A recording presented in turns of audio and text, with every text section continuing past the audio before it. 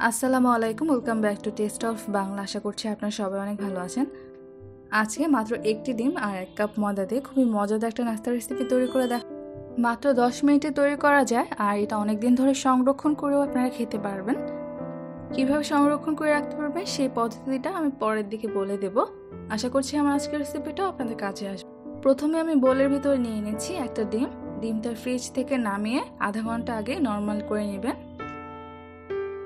দিয়ে দিচ্ছি চার টেবিল চামচ পরিমাণে চিনি। এটাকে আমি এভাবে ফেটিয়ে মিশিয়ে নেব ডিমের সাথে।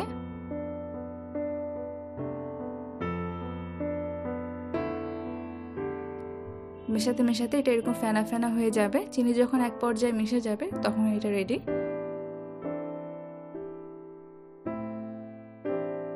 এবার এতে লবণ দিয়ে দিচ্ছি পরিমাণ মতো। কালো জিরা দিয়ে দিচ্ছি হাফ চা চামচ পরিমাণে। কালো জিরাটা দেওয়াতে ফ্লেভারটা চেঞ্জ হয়ে যাবে। আপনারা চাইলে এতে সামান্য পরিমাণ এলাচি গুঁড়োটাও দিতে পারবেন। তবে কালো জিরাটা দিলেই ফ্লেভারটা চেঞ্জ হয়ে যায়। আমি ভালোভাবে এটাকে মিশিয়ে নিলাম।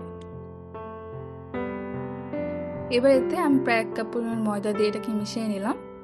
ডিমের আকারটা যদি বড় হয়, তাহলে কিন্তু এক কাপ পরিমাণ ময়দায় এটা মাখানো হয়ে যাবে।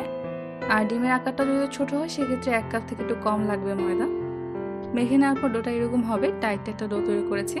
নরম হবে না কিন্তু। ডোটাকে এক মিনিট আমি মুথে নিয়েছি, এটা রেডি হয়ে গেছে। এবার একটা পরিষ্কার স্থানে কিছু ময়দার গুঁড়া ছিটিয়ে নিলাম। এবার ডোটাকে মোটা করে বেলে নিচ্ছি। ময়দার গুঁড়া ছিটিয়ে নেওয়াতে এটা বেলতে সহজ হবে।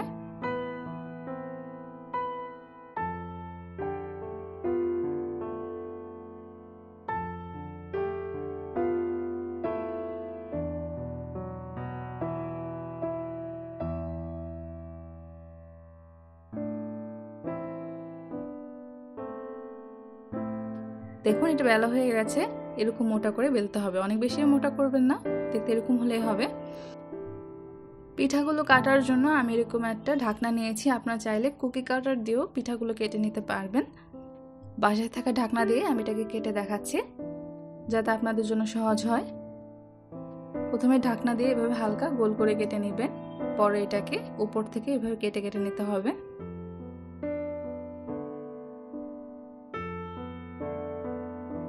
দেখুন, খুব সুন্দর একটা অর্ধেক চাঁদের শেপ হয়ে গেছে। সবগুলো আমি কেটে নিচ্ছি একইভাবে।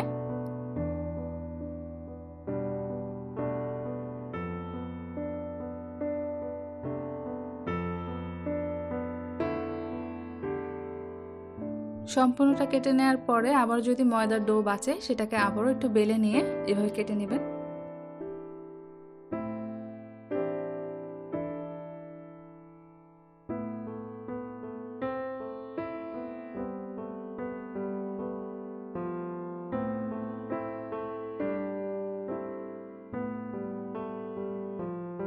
তো আমি সবটা এইভাবে কেটে নিয়েছি দেখুন এক কাপ ময়দা দিয়ে অনেকগুলো পিঠা হয়েছে। চলে আসছি ভাজার জন্য। তেল আমি গরম করে নিয়েছি। গরম তেলে মাঝারি থেকে কম আছে এগুলোকে ভাজতে হবে। বেশি আছে এগুলোকে ভাজা যাবে না, তাহলে কিন্তু উপর দিয়ে রং চলে এসে ভিতর দিকটা কাঁচা থেকে যাবে।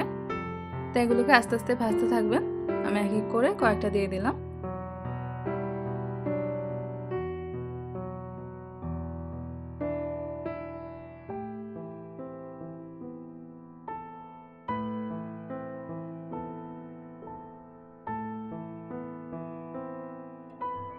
এক পাশ হালকা রং আসলে কিন্তু এটাকে উল্টিয়ে দিবেন এক এক করে।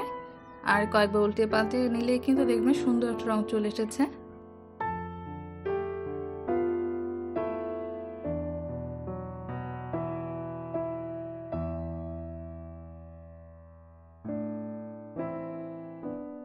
গোল্ডেন ব্রাউন খুব সুন্দর একটা রং এসেছে। এই পর্যায়ে এগুলোকে আমি তুলে নেব।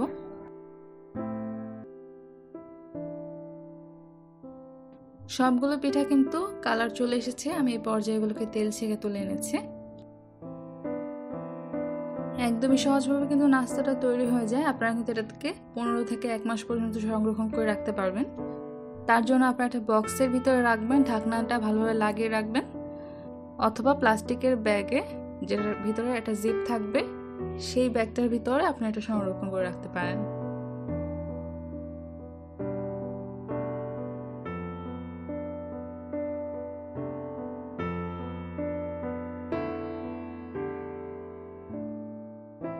আশা করছি আমার আজকের রেসিপি আপনাদের ভালো লেগেছে। খুবই মচমচে আমি একটা ভেঙে দেখাচ্ছি।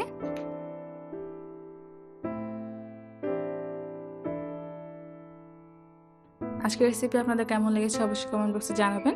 আগামীতে আর অনেক রেসিপি দেখার আমন্ত্রণ জানিয়ে আজকে বিদায় নিচ্ছি। সবাই ভালো থাকবেন, আল্লাহ হাফিজ।